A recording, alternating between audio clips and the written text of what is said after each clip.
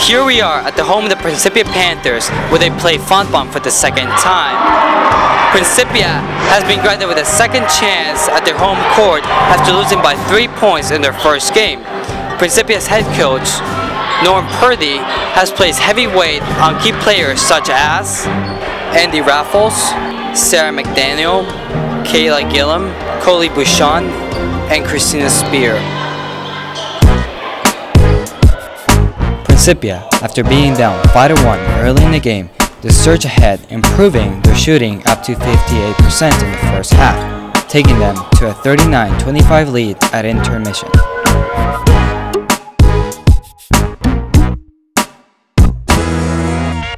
With only minutes left in the game, Principia is currently up in the lead.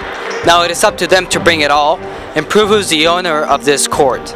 I am Andres de Paz, reporting live from Principia College.